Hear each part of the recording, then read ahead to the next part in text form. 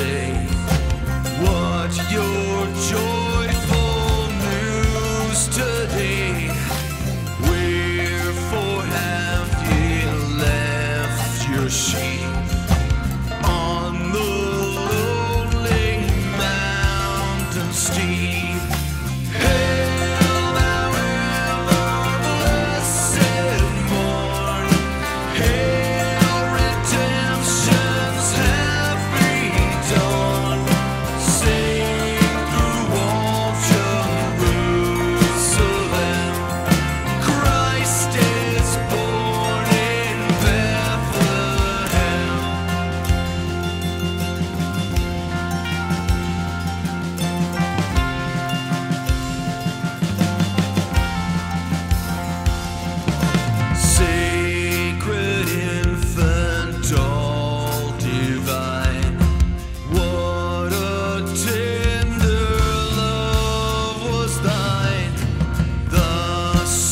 come